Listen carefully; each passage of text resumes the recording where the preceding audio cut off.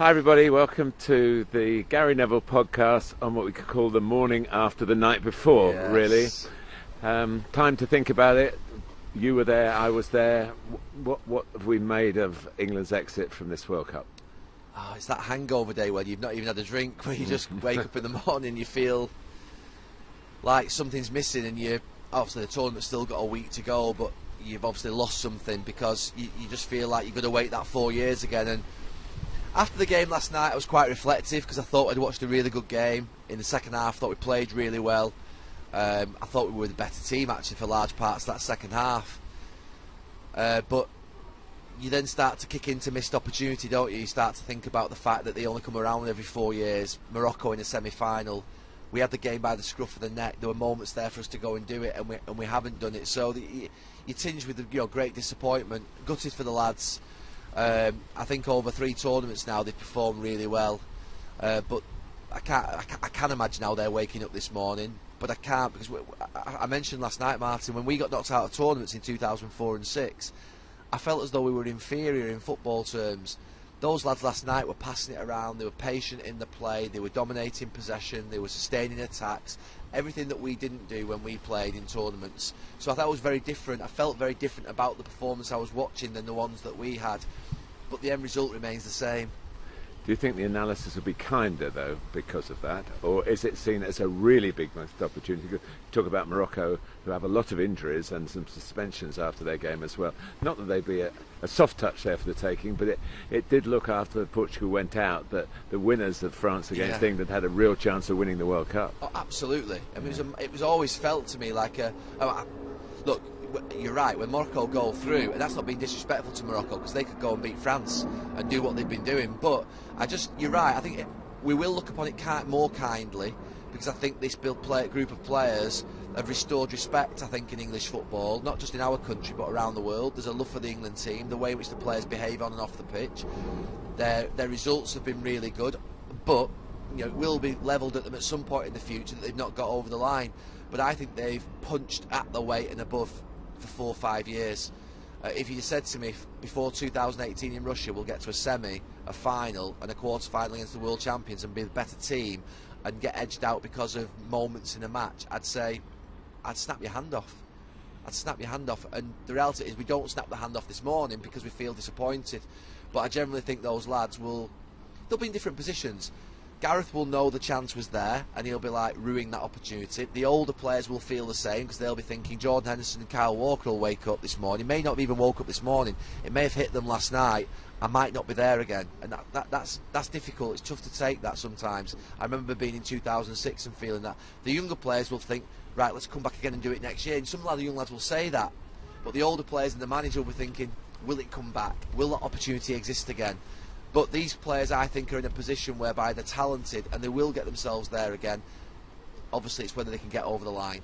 Let's talk about the penalty because obviously the feeling was that if Harry Kane scores the second penalty, that England were the dominant side, then that they would have gone on and got through. Um, Lloris and Kane, Yeah. I'm sure you were talking about it, and we were all thinking about it. No goalkeeper in the world would know more about Harry Kane's penalty taking than his club mate. know. And did that have a part to play? Did the fact that it would have set a new record have a part to play in the in the second penalty? I mean, I think uh, we spoke about this before. I, I am so unqualified to talk about penalty taking, the mentality of it. I never took a penalty in my life. Uh, don't pretend to know the pressure, the feeling, the, the experience that Harry or any other penalty taker was having. All I can do is pose probably a couple of questions. You know, did, did Harry feel like he had to hit it that little bit harder because the goalkeeper maybe knew where he wanted to go? I want, you know, that because he did treat, he did seem to want to try and really thrash it but then we always say, why don't they just smash it down the middle? And then the other thing was, the only thing I noticed was, and I said to you, you, you maybe probably seen the, the replays more than I have, because after the game we were obviously talking just generally about the bigger picture stuff. But uh, something I pointed out was, was was his run up a little bit shorter. Well, it looked like that to me for both penalties, to be fair, and it worked for Yeah. the first one. Yeah, but was, did you think his run up was a little bit shorter for the second one than the first? I don't know. I, I, and I thought they were quite similar, similar, but did I'm- you? Yeah, I mentioned in my commentary about the first one being quite a short approach. Yeah. You know, Look, he hits the ball so well. I- I wouldn't have anybody else taking a penalty for my life in England than Harry Yeah. Kane. He's our great goal scorer. Um, he could become the Premier League's greatest ever goal scorer.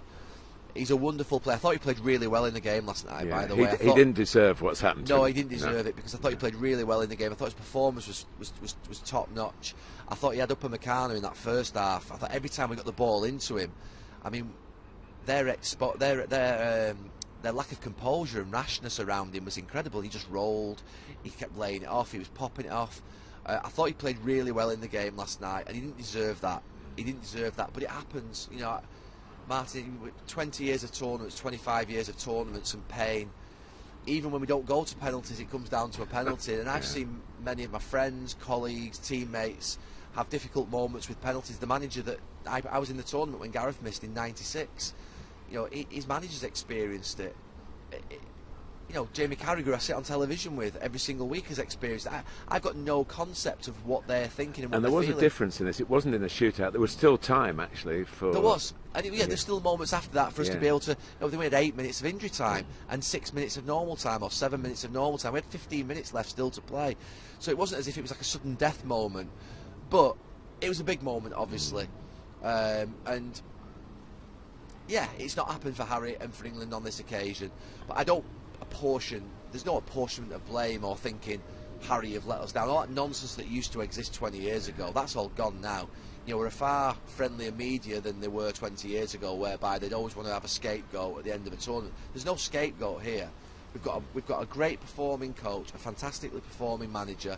There'll be some that might, uh, sorry, uh, set, set of players. There'll be some that might challenge that in the next few days. Do you days. think Gareth will challenge himself over it? When we're Gareth waiting, as we're himself. speaking, we don't know what his personal thoughts are about his future. He said he's going to give himself a bit of time to think about it. If you were in his position, given all that's happened and all of the progress that's sort of slightly Yeah.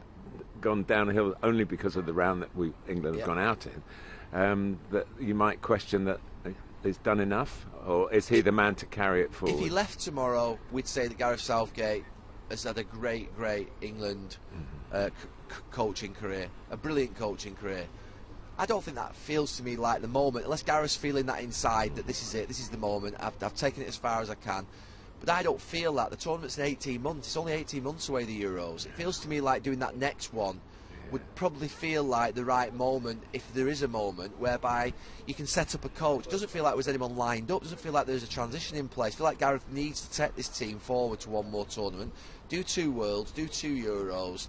You know, he's got the backing, I think, of nearly 99.9% of the country. I think we all think he's done a really good job. And then let's see what happens after the next Euros, whereby he can maybe step up into the FA into a position whereby the next 10 years can be looked at by him. Because I do feel like we need to keep Gareth in the England system. He's got so much knowledge of playing, of coaching the youth elements of it, and obviously now the first team that we don't really want to lose that. I don't think. We have a great expression in football after a disappointment. We go again. Oh. And you want Gareth to go again. Yeah, I want him to go again because I think that he's, it's right that he goes again. Uh, I don't see there an, an obvious replacement. I don't think there's anybody better at this moment in time.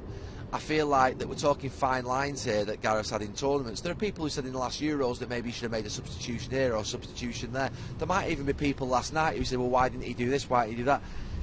Honestly, I spent I spent quite a few years on the touchline with Roy Hodgson and spent a few months in Valencia. I, I could never look at anything that I've seen in five years and think anything other than he's done an absolutely brilliant job for the country. He's restored pride in England. He's restored, restored respect in our game. The technical level and ability. The players are with him. They behave brilliantly on the pitch. They're leaders on the pitch and off the pitch. And I don't think we should change at all, in my mind, the manager of our, of our country at this moment in time. Well, let's look at those who are still here, and starting with France, who are obviously England's conquerors. What what did you make of them? Not as good as No, 2018. not, not as good as 2018. Definitely not. Um, felt to me like in the first half, I felt like they were very dangerous. Felt like they were sort of like a tiger ready to pounce. Like they got the goal, they sat back. I thought they're dangerous here. If Mbappe gets it, if Dembele gets it, if Griezmann gets it, but it never materialised. And I actually thought, to be fair, I knew they would concede chances defensively. I thought they were so rash. I thought that Upamecano, Hernandez on the penalty, uh, on the penalty with Saka, I thought there's some really poor decisions in and around their, their, their defensive third, and I thought that will cost them that against Argentina. That will cost them against Croatia if they play them in a final. Could cost them against Morocco. you know, they were really bad decisions. The lack of composure in the defending, I think, would worry Deschamps. Uh, it would worry me. I thought we were more composed. I thought we were more patient. So and not much the, depth. I mean, Kingsley yeah, Coman always comes Coleman on as comes a on for Dembele, and yeah, that's, but that's about else. it. Yeah, you, yeah. You, you're looking at it and thinking, that's it. Uh, Yeah. Before the game, I said France have got the best eleven. We've got the best squad, and the longer the game goes on, I thought we, Yeah. we would be factually in a better position. I thought if we went to extra time, we would win. Um, so I was a bit disappointed with France, but they were playing against a very good team. And we were playing against a very good team, and it was always going to be those fine margins potentially that were going to determine the match. Griezmann's moment of absolute class, a missed penalty. I thought the referee. I mean, Martin, we, we, you've, we've not criticised referees in this podcast, and we've not done for years in the Premier League. We've maybe said moments of difficult, you know, where there's a referee. Yeah, and and we've looked at VAR and the, the yeah, implications we looked at VAR, of that. But I thought last night that refereeing performance in a World Cup quarter final was well below par, and that's me being non-emotive with my language. I would say, having watched Michael Oliver's performance in the Croatia Yeah. game, who was a cut above anything that I've Oh, seen, he played the advantage for the equalising goal for Croatia. Yeah, we should play some respect on our referees. Yeah, Looking yeah. at what we've seen some uh, uh, in parts of this tournament, I thought that refereeing performance last night was actually a joke. I thought he got so much wrong. It was untrue, and that, that- that's not the reason England are out. But if I was an England player, I'd be thinking there's a foul on Saka before France's first goal. Kane should definitely have had a penalty in the first half. They're two massive moments that swing that game. And it took VAR to give the second. And it took VAR to get the second one. Yeah. I actually thought last night the referee did have an influence on the outcome of the result. But it was a 50-50 match where I'm not sat here saying we got blow, you know, we got killed by the referee and it's excuses. We've gone past that. But I thought it was a really poor performance, and I do think it had an influence negatively for us. Just a word on Giroud, who probably four years on is better because he didn't do that much in the in the No. winning of the World Cup, though he played. Um, he can still do what we've seen in the Premier League, and, and looked as though the Premier League had discarded him. So I guess for him that was rather a special moment Oh, to it was a turn up, be the winning goal. moment for him, and he scores those types of goals. He should have scored the one before. In fact, I fancied him to score the one before because that was his type of finish as well.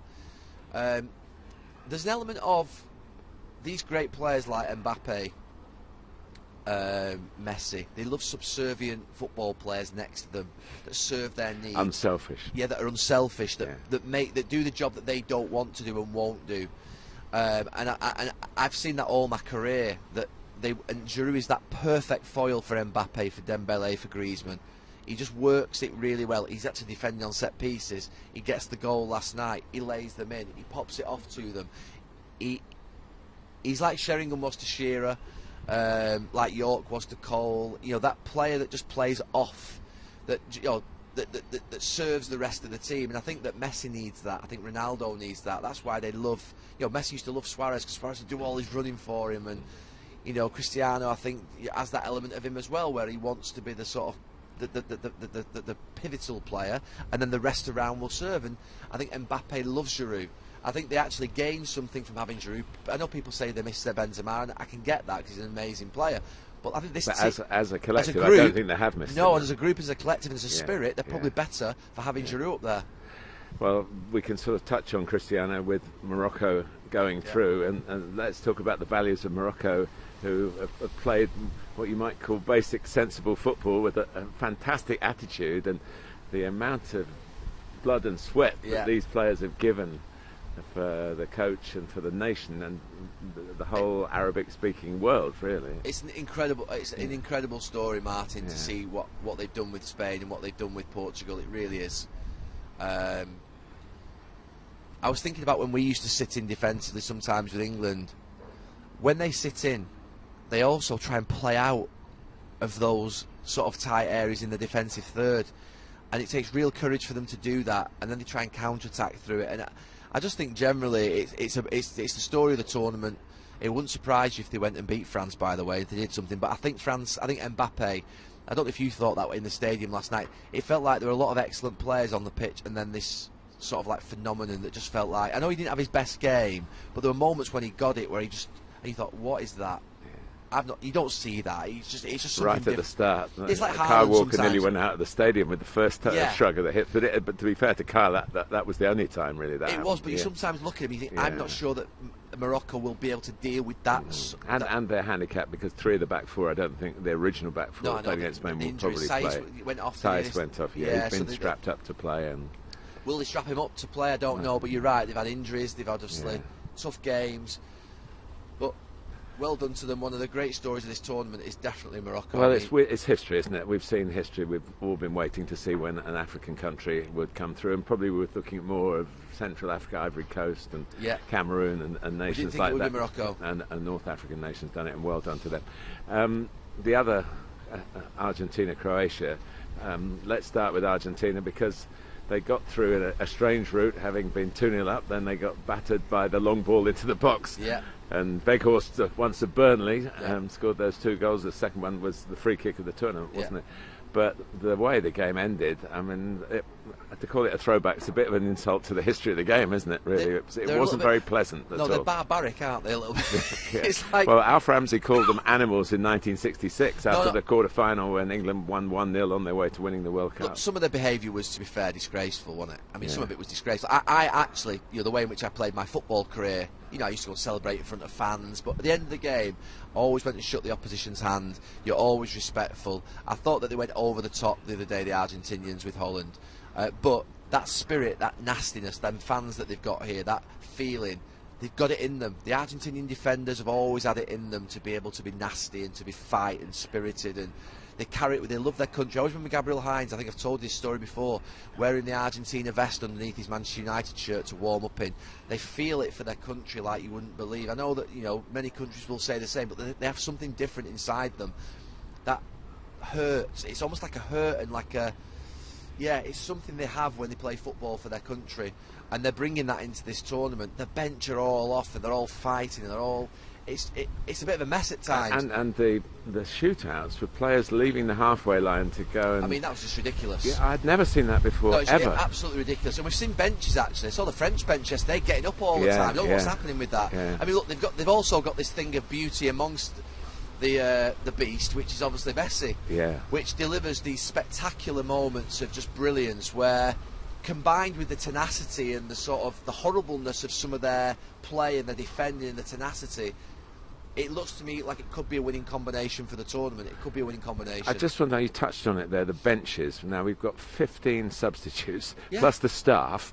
Have we got an issue now where it's almost a war zone now, Oh, where, where Miles, that's only in this emptying the benches is an American expression. In American sports, they say, oh, um, baseball, they empty the bench, everybody goes in for a fight. Yeah. And then there's some repercussions, but it's almost accepted. Are we Well- going to move towards that where uh, this will be be the norm rather than an outrageous thing that we've seen in It's- that particular game? it's going to have to be dealt with. Yeah. Because, I, I, I'm not I'm not being a spirit killer here, but when all the benches run onto the pitch for the, when the goal's been scored? I like that. Because I think of '99 and all our bench run towards Ole Gunnar Solskjaer and he scored. And in a big moment, I think it's right. I've done it with England v Wales a few years Yeah, ago. but there's five of you there. in a last minute, in a, no, in a last minute winner. Well, now Yeah. the benches are on the pitch. Yeah. Not just for the goals, they're on the bi- on the pitch if there's a foul. That's part of the um, the reason for adding on so much time. Yeah. Because the celebration of a goal is It's- now the chorus lines Yeah. on, on with the stars. You You, can't take your shirt off, but you can basically charge onto the pitch. But I, I don't want to kill that because I think it's, it's really nice to see all the team and the benches celebrating together. But the benches seem to be becoming more active in the game. Well, there's more of them. I mean, Yeah, is that a consequence of having? We're going to have. We still have nine subs in the Premier League. Is Yeah. that going to be following on that we're going to have to? well, I'm not concerned about the number of subs. I'm more concerned about the behaviour of the benches in terms of sort of like yeah, but jumping. b- because we can choose from more 15, you've got 15 available substitutes. well, they're all running on the pitch trying to, trying to ref the game. yeah. They're all running on the pitch trying to fight in the last couple of games. It's like it's, it's got out of control. But you know, I want passion in football as well. Me, I want there to be this spirit in, in the game. So I want to. But it, there's, no doubt that it's just going a little bit over the edge in the last in the quarterfinals probably, whereby the benches have become too active, and it's been like, what are they all doing? They're all they're all on the pitch. They're all sort of pushing people and. Uh, you know, you want a little bit of that sometimes in terms of, you know, you want that spirit. Was it Tuchel and who was it earlier? Conte. Conte the Premier Yeah, League. Was- yeah. I loved that. Yeah. That idea that two managers are having a bit of a, a spat with each other. So we don't want to take it away from the game, but there's definitely an element of losing control of the technical areas in the last couple of weeks. But the Argentinians, you know, how they were, you know, with the with the with the Dutch with the penalties was that's that you can't do that. You can't do that. But anyway, that's I'm not getting too wound up about it. But generally, it means so much. The Argentinians, it means so much to them, and they want this tournament badly. Messi wants this tournament badly, and Cristiano, to be fair, I do want to mention Cristiano because I think that I saw that image of him walking in the tunnel crying. That was a horrible image for me. I, you know, I thought because that's that moment that he knows his dream's gone of winning the World Cup with his country, and you know we've all been there at the end of our careers, but he's he's he's one of the greatest, if not the greatest. And that was a horrible image to see him sort of like that at the end of the game because he's you know he's had a, he's had a tough two or three months as well. There's uh, LM for Lionel Messi and there's LM for Luka Modric, Oh. who is another uh, he- Oh. because he's so understated. Um, but we ha- the last nation we need to talk about is Croatia, and his contribution is of a, a 21-year-old. Well, Martin, you know something? Croatia will dominate the midfield. They're better than the Argentinian midfield. yeah. So th- whether they've got the killer instinct up front and whether they can deliver in the moments they'll need to, but I've got I've got a feeling they could dominate large parts of the game. We are talking midfield- about the losing finalists of last World Cup. yeah. Absolutely. It was interesting. Ian Wright said to me about 10 days ago, while I was still in the group, he said, I think Croatia could win it. I went, what? They're nowhere near this time. And they're here. And you're like, yeah, I never saw that at all. But do you know something? They've got a midfield that dominates the ball, that know how to play with each other. Can they beat Argentina? Yeah, they probably can. Because they've got that in them. That Could we have the same in them. final as, as Yeah. four years ago? We could, couldn't we? We There's- could we could easily end up in that same position. Um, Modric is a star. How he's gone from Tottenham, who was a, he's a fantastic player at Tottenham, but what he's gone on to since is unbelievable. And he keeps playing. Just when they think they have to take him off for extra time, he just dominates extra time and He dominates extra and takes a penalty. Every, every pass he makes, Martin, is a beautiful pass. Even a simple pass, he just feels the weight of it, the sort of the angle in which he sort of passes it to. The he, he passes it to the right side of the player that's receiving it. it it's perfection. And much as would be made if um, Messi was to win the World Cup. I think it would be the same if Modric won it. Maybe, maybe less glamour, less no, I think Messi winning the World Cup. Yeah. I think Messi or Messi or Mbappe becoming the defining player in the tournament Yeah. will put them into that sort of that. You know, they're, they're there anyway, probably, but you know, they, they, it'll just even further cement their star and their status and what they are. And it does, to finish, it does remind us of what England lost in losing that quarter final. The opportunity. I mean, Sir Geoff Hurst was 81 a couple of days ago, and happy birthday to him. Yeah, Um, but still, the boys of 66 are the icons for the history of uh, the England national team. and until someone takes that away, until we go and win a tournament, it'll always be the same. Yeah. The reality of it is the tough nature. Did you find that weighing on you, that the, the history when, I mean, No, I never felt 66 was a weight on us. No. I never felt 66 was a weight on us. I felt the expectation of the time was a weight. Hmm. The pressure, the media, the build-up, the, the heavy shirt. it was a heavy shirt, but I also think it was a very. Br- when I look back now, from sort of what would be late 80s through to probably 2000 and mid 2000s, I thought it was a very brutal press, very brutal. Um, it was there. It, it it could destroy you, and it was there to destroy you at times. And then the press press changed. You know, post hacking, post closing down of certain institutions, it started to sort of moderate and become a lot softer, and I think a lot more articulate, a lot more thoughtful, a lot more respectful of mental health, of what the, you know these stories would do to people. Um, and it's now, I think, in a better place. Social media has taken that over a little bit, but you can you can get away from that. I think.